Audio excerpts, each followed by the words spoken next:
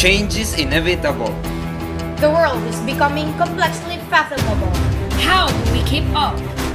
How do we adapt to change? I, I, I, I, I, I, I, I, I, We, the Science Club of Ilocos Norte College of Arts and Trades, do recycle, research, invent, and we do it with fun. Last year, our Atos and Kuyas launch of Phase 1 of Yolanda project. Initially, this phase is about research and doing prototypes and flood warning device, if which actualized will be distributed to predetermined flood-prone barangays of Lolo. This year, we will proceed to Yolanda Project Phase 2. Another breakthrough activity of the club this year is the Project Lily. That is maximizing the potential use of water lilies towards human benefit.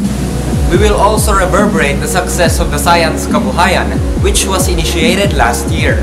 Young scientific-minded entrepreneur will again showcase their research with products for the people to enjoy. Also, we never go away with a perennial cleaning and greening program of the club. Go green, science clubbers! We make it a point that we reinvent our aptitude tools too. We have joined and conducted various science-centered activities. We had our school-based science camp. We participated in the NYSTS. We went to the moon, to Jupiter, and in outer space. Yeah! We also do the three R's. Reduce, reuse, recycle. We take action. We take part. We rise above the challenge. We are the Science Clubbers of Ilocos Norte College of Arts and Trades, and we keep up with change. You, how you keep up?